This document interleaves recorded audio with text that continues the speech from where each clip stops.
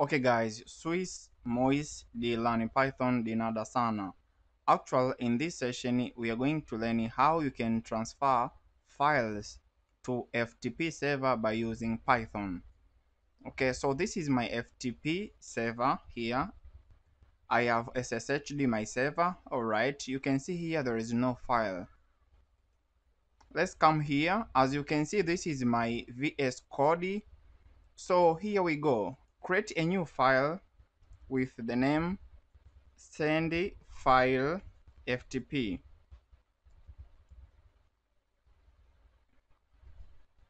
perfect. After that import ftp lib right? Then after session we need to log in so it is ftp lib dot ftp bracket. Inside make sure you put your ip address of your ftp server your username of ftp server and your password. So here we go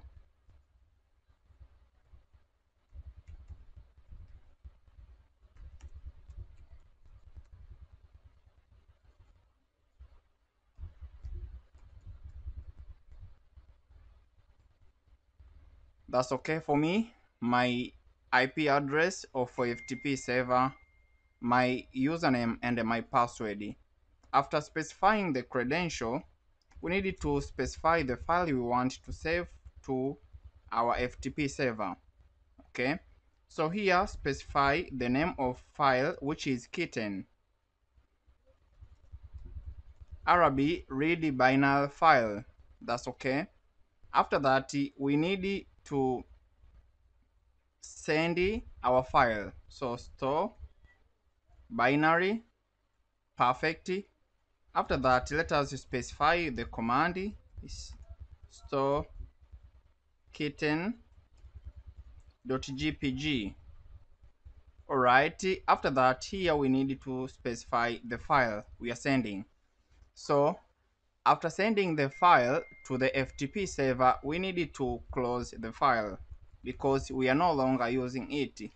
So this should be file.close. This is perfect.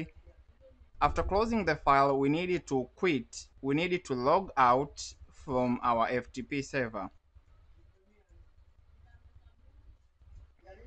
We are done. So this is our source code for sending file to FTP server by using Python.